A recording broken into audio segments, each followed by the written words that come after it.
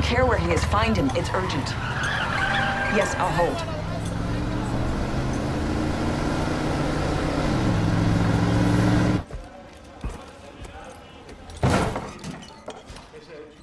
He's been locked up for almost a year, and overnight they decide to hold a trial and pronounce a death sentence. What do you expect? Hassan blew up 129 civilians in a marketplace in Ramadi. I know what he did. I also know he's got intel about an imminent attack on U.S. soil. He's been dangling this so-called attack for the last three months. Yeah, and now he'll come clean if we commute his sentence. We don't dictate law to the Iraqis anymore. This is their jurisdiction, and Hassan is their prisoner. David?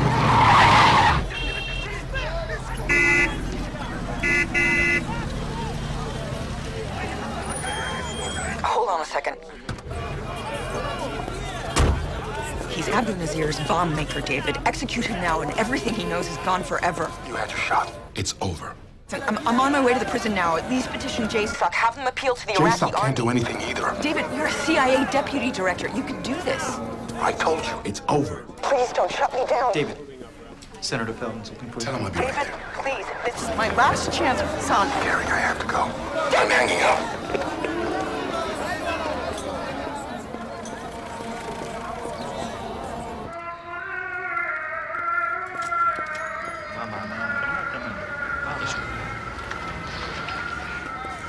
Estes didn't go for it.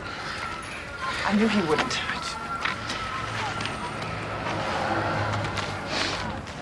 Is that him? Yes. I'm not sure we can trust him. Can he get me inside or not? He says he can.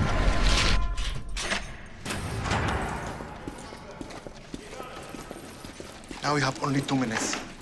You understand what I say? Two minutes. Ibrahim. I tried to get the agency to intervene, but they couldn't do anything. I'm sorry. So I have nothing to say to you. Ibrahim, you said your family was in hiding, afraid for their lives. I can get them to Amman. Tell me what you know, and I will personally guarantee their safety. Why should I believe you will do what you say? We have to go. You said two minutes. The guards, they are coming. I need more time. Abed! إلى حالك. You don't believe me? Well, maybe I was wrong to believe you. You said you were an important man. You said you had information about an attack by Abu Nazir. I have information. Prove it. Because unless you do, I won't protect your family.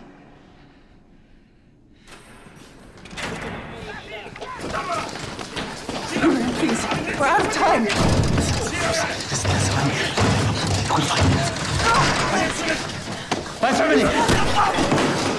You promised to protect them!